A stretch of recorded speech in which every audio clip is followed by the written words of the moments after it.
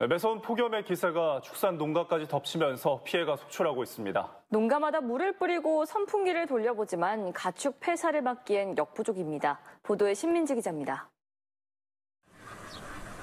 나주의 한 오리 농가입니다. 폐사한 오리들이 축사 앞에 쌓여 있습니다. 쉴 새 없이 돌리던 선풍기도 고장이 나버려 축사한 곳곳에 탈진한 오리들이 눈에 띕니다. 축사를 가득 채웠던 울음소리도 한풀 꺾였습니다. 인근의 또 다른 오리 농장입니다.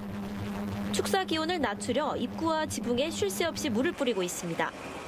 비타민제를 사료에 섞어 먹이며 오리들의 탈진을 막고 있습니다. 수막 시설하고 그리고 선풍기 그다음에 물에 다는 비타민 제제들하고 소금 매일 타주고 있습니다. 소들도 폭염을 견디기 힘들기는 마찬가지입니다. 소들은 천정에 돌아가는 팬 밑으로 모여들어 더위를 식힙니다. 농가는 치솟는 축사한 기온을 잡기 위해 급히 스프링쿨러를 설치했습니다. 폭염으로 너무 지속적으로 하니까 분만할 소들이 지금 8월 초부터 많이 터져요. 한 30도 터져서 어, 스트레스 안 받기 위해서 스프링클 물장치를 했어요. 한 2, 3도 정도는 떨어져요.